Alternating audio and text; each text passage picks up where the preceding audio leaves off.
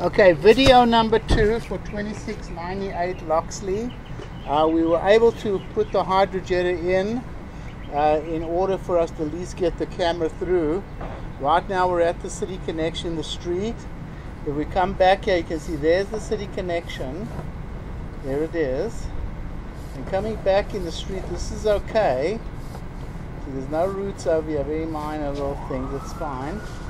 But coming back, right over here, this is at the curb. And coming back from the curb to the property line, we've got all this here. Massive roots in the line, we couldn't even get it out with a jetter. We'd have to spend hours over here. But you see how bad that is?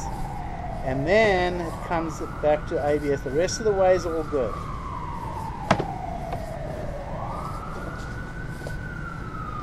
Technically speaking, just